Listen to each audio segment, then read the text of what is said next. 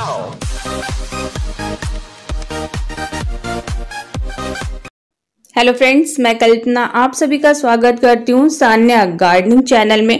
Friend जैसा कि आप देख रहे हैं, ये है रोज केयर फर्टिलाइज़र और रोज केयर फर्टिलाइज़र सभी एग्रीकल्चर शॉप पर आपको आसानी से मिल सकती है।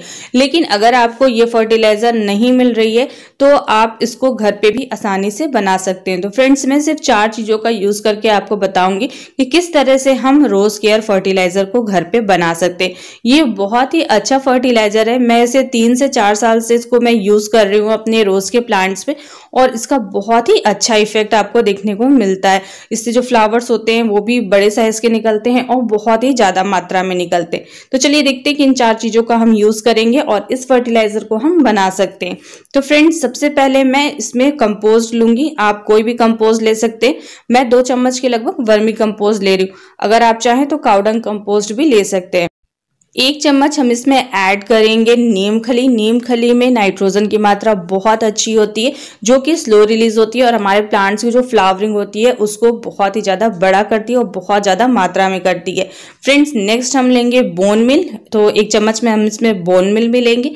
तो बोन मिल जो होता है, इसमें फास्फोरस की मात्रा बहुत अच्छी होती है और ये हमारे प्लांट्स की जो ग्रोथ होती है, उसको बहुत ही अच्छा करता है। फ्रेंड्स, ये तो तीन चीज़ें हो गई। इसके अलावा हम इसमें मिक्स करेंगे एक चम्मच फंगसाइड आप कोई भी फंगसाइड यूज़ कर सकते हैं।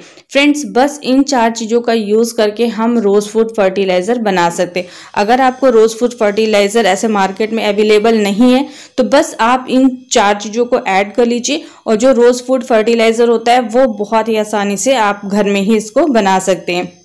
फ्रेंड्स बस अब हमें कुछ नहीं करना है, बस इन सभी चारों चीज़ों को हम अच्छे से मिक्स कर देंगे। अच्छे से मिक्स करेंगे, जिससे कि जो सभी की मात्रा है, वो बहुत अच्छे से मिक्स हो जाए। फ्रेंड्स अगर आप काउडंग कंपोज लेते हैं तो आप एक बात ज़रूर ध्यान दीजिएगा कि जो वो कंपोस्ट है, वो अच्छे से डीकम्पोज हुआ हो।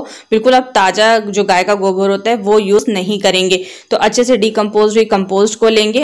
तो जो हमारा फर्टिलाइज़र ये तैयार होगा, ये बहुत ही अच्छे से तैयार होगा। तो फ्रेंड्स अब ये फर्टिलाइज़र अच्छे से तैयार हो गया।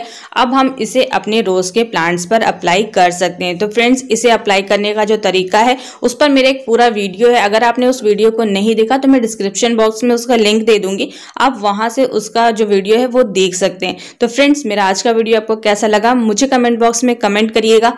अब हम मिलेंगे एक नए टॉपिक के साथ। तब तक के लिए हैप्पी गार्डनिंग